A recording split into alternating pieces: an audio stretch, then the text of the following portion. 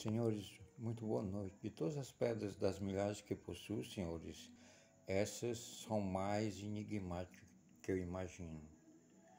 Como pode, senhor? Eu na natureza, como sempre, na beira do mar. E eu acho uma coisa dessa magnífica, senhores. Como pode, senhores? Não é à toa, senhores, que eu estou nesse projeto para desencalhar o Titanic. Eu tenho plena certeza que isso vai acontecer desde que vi no meu interior essa frase poderosíssima. Eu acredito no impossível, Senhor. Eu acredito no impossível do impossível. Eu sempre fui assim, senhores, desde pequeno. Olha só como pode, senhores. Repetindo dentre as milhares de pedras que possuo, senhores, essa e uma segunda. Vou mostrar agora a outra para vocês. Incrível, incrível.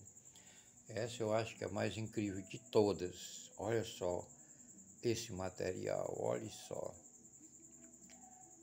Incrível, senhor.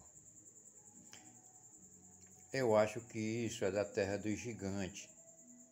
Seria talvez a cabeça de um gigante. Só botar na posição certa que você encontra. Aqui já dá para ver alguma coisa. Se eu botar direitinho na posição certa, você vai se ver que representa.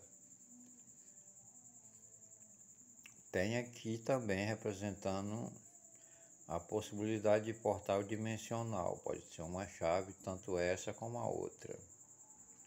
Eu, eu sei onde tem um portal você é 100 metros dentro do mar. Eu sempre vi o urubu drone é, desaparecer lá. Nunca mais eu vi ele. Magnífico um negócio desse, senhores. Boa noite.